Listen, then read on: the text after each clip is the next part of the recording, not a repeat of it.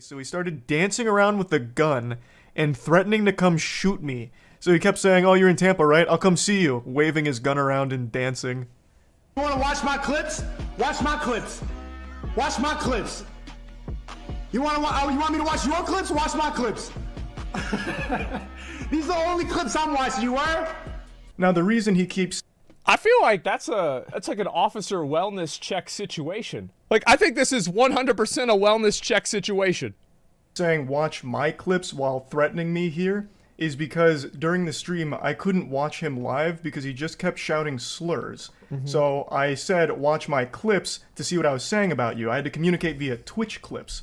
And I'm sorry to be that guy. This is like the grammar police of Yeah, guns. yeah. But he's a fucking imbecile. You absolute buffoon. What you have there is not clips. These are mags. They're mags, not clips. You absolute fucking dummy.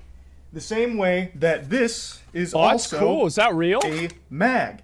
They're all mags. Stop saying clips. You look fucking stupid here. Anyway, sorry. Yeah, but the thing is, they say clips in the rap songs. So of course he's gonna say that. Yeah, that's in the that's in the rap songs.